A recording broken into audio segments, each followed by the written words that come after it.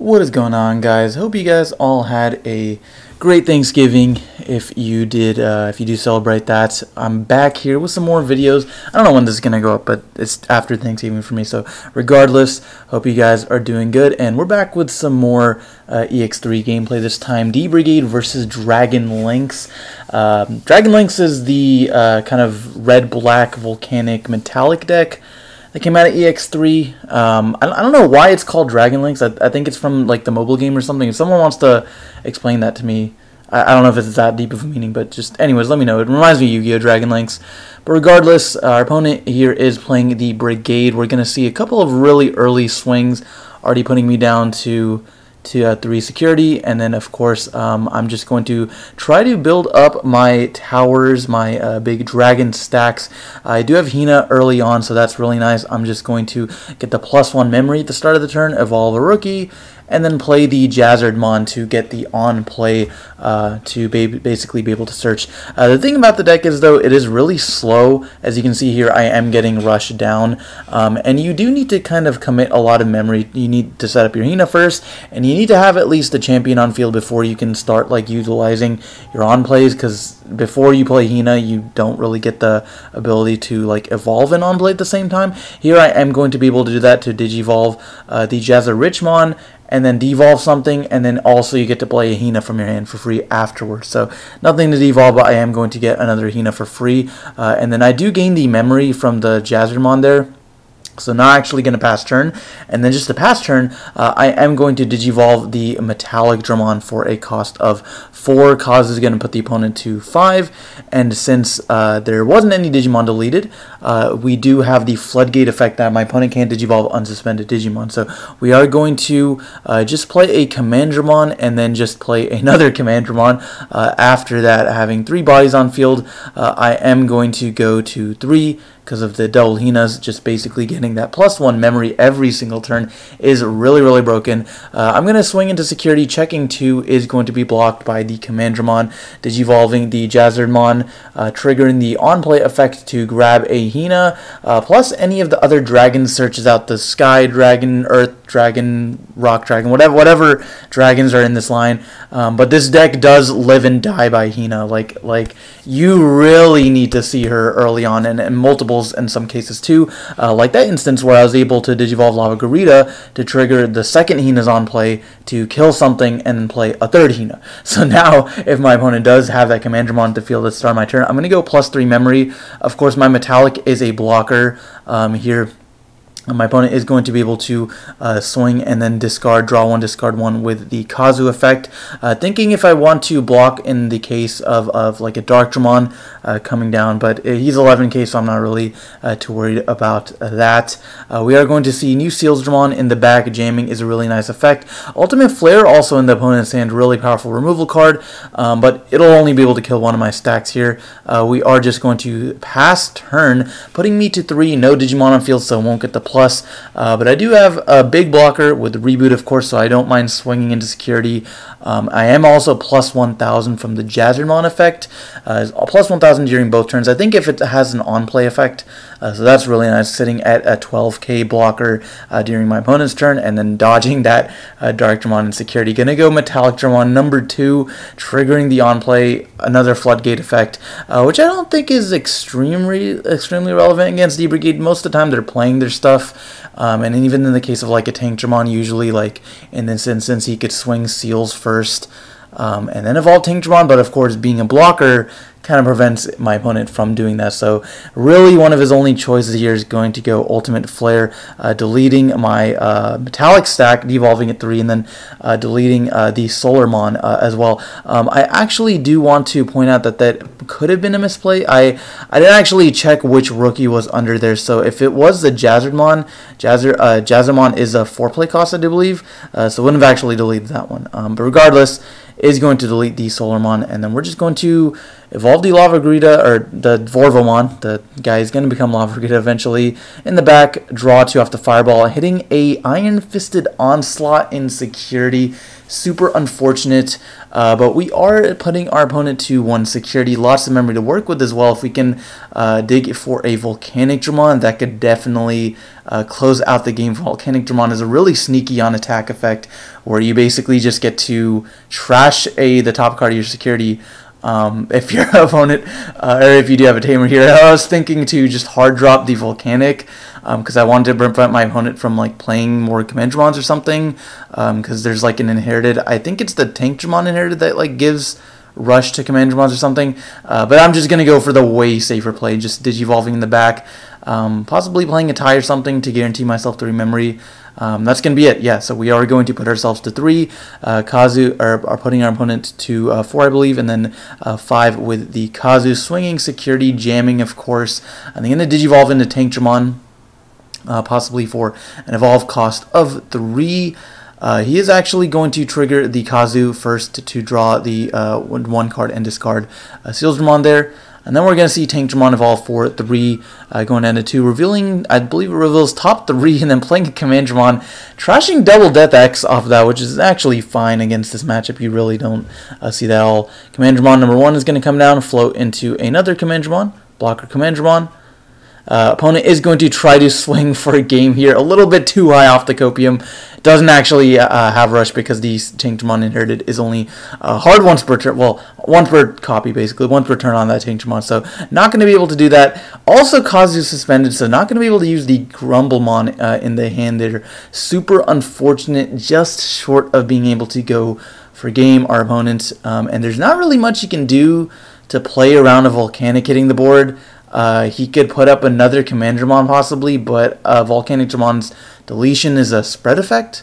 So it would delete uh, both of the Command Dramons actually. He does have the Dark Dramon in security, uh, but sitting at two memories not going to be able to uh, be enough. Digivolving a Grumblemon uh, just to draw a card, but of course the Command Dramon was played this turn, so it does not have Rush won't be able to swing there and at this point he's just digging and trying to do something possibly getting a blocker command Dramon off of that uh, but we're just going to whiff and then pass turn I'm just going to digivolve uh, into the volcanic uh, blow up both of my opponent's Digimon via the on play and then swing trash the top card of security and then uh, hitting my opponent for game. So that's going to be game number one, guys. Game number two, Commandramon is going to go first breeding area over the egg is going to be the Command Dramon plus Seals Dramon for a cost of 2. I'm going to go ahead and just hatch the Guri, but then play the uh, Lavorvomon, whatever his name is, the level 4 guy, uh, and then revealing the Metallic to get off of that, adding it to hand. Really nice thing about having like um, level 4 searches is you're basically, once you got your Hina off of that, once you got like a level 5 or 6 off that, you can just go ahead, Digivolve next turn, and then straight into level 6 uh, pretty much. We're just going to play Hina to pass the turn, putting our opponent uh, to 3. He's going to start with 3 anyways because of the Izzy. We're just going to see Tank Dramon Digivolve revealing the top 3. Whiffing, once again, a little bit unfortunate, uh, does uh, trash the rest of the cards. Um, could definitely swing at uh, 7k body, I believe. Uh, so he's going to go ahead and swing. Dies to the Dorbickmon in the security there. A little bit unfortunate. And then we're just going to play the Pride Memory Boost uh, for a cost of 4, revealing the Command Dramon, uh, getting rid of the rest of the cards. Um, and then I'm going to start with 5 because of the Hina really strong stuff. Tons of memory to work with here. Uh, so we could definitely digivolve into the Lavogaritamon, but um, of course the Commandramon does float, so that effect is a little bit unfortunate. I'm just going to do it anyways. Uh, possibly he'll heal whiff, but um, or I could just not trigger the on play effect. Instead, I'm going to go ahead and digivolve into the Metallic and then trigger the on play, deleting um, the Commandramon, and then of course he is going to be able to uh, play the blocker.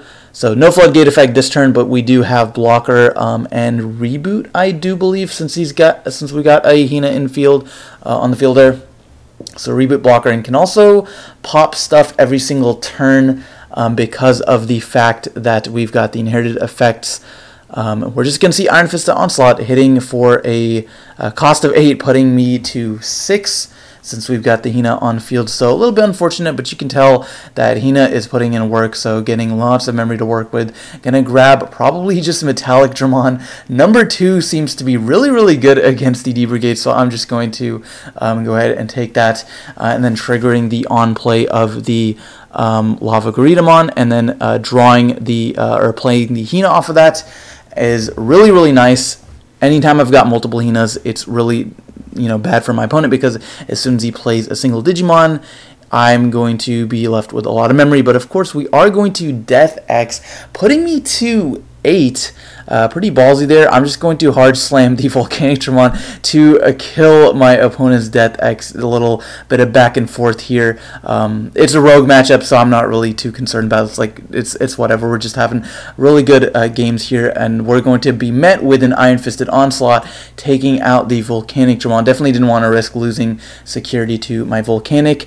Uh, we're just going to play the Jazardmon for a cost of four, revealing the Jazarichmon, which is uh, really really strong. I think that's probably my favorite level 5, or probably one of the favorite cards in the game, it's just in, in the deck at least. It's really, really strong, being able to uh, have the security attack plus 1 inherited, uh, and then of course being able to deval stuff's really good, playing a Hina is always broken, so I've got triple Hina on field is really, really nice. We are going to see um, the Dark Dramon hit the board, recycling back uh, 5 of the D Brigade cards to get memory plus 2 for each card essentially playing him for the cost of 3 uh, and then being able to have the rush keyword means he can swing right away. But I'm not really worried about Dark Dramon. Like, he's cool as a finisher, but when he's played mid game, um, okay, he gets one swing in, and then he's an 11,000 vanilla. Um, this deck has a lot of removal, and plus I'm at 6 memory, so we can definitely do a lot with that. We are going to go ahead, Digivolve into the Volcanic Dramon uh, drawing the card and then triggering the Hina. Definitely have to suspend one of the Hinas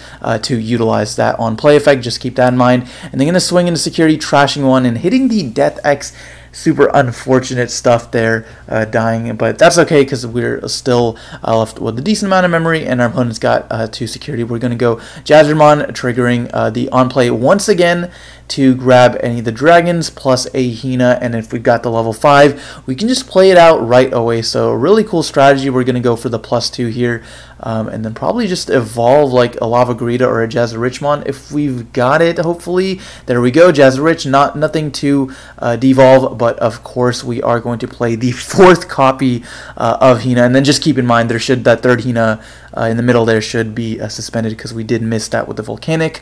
Um, but we're able to set up pretty nicely for the following turn, especially if we've got something like a um, volcanic or metallic to be able to potentially threaten our opponent. Command Dramon in the back here, and our opponent is going to start with uh, the Dark Dramon once again to be able to play for uh, basically three. Uh, the cool thing about D Brigade is the fact that once you've got two Dark Dramons in circulation, you can effectively just loop them uh, back and forth, and one adds the other, and then just play and recycle. And then we're going to swing and then play the Command Dramon, not playing around the plus 4 memory from the Hina is really crazy, putting me to 7, and that is just the perfect sweet spot amount of memory I needed, guys, because I'm going to do some crazy stuff this turn. Alright, so we got the Jazarichmon, of course, is going to Digivolve into Volcanic, triggering the on-play for a cost of 4, deleting the Commandramon, which unfortunately does float into the blocker. That was a really bad scenario, but it's okay, we still got this. Alright, so we can then do a couple of things. We could definitely swing um, and then trash one security um, and then check the last one. But we, we are instead going to just play the Dorbickmon crossing five of our dragons with different names for a reduced cost of 13 minus 2 for each. So 3 cost, deleting something with 13k or lower, deleting the Commandramon, checking one security, and then swinging, uh, trashing the last one, and swinging for a game with the Volcanic. Also had a Ragnalord play in my hand, so I was thinking about doing the Metallic anyways. That would have been pretty spicy as well. But anyways, guys, that's going to do for this one. Uh, if you enjoyed the games, let me know down in the comment section below. But thanks for watching, and we'll see you next time.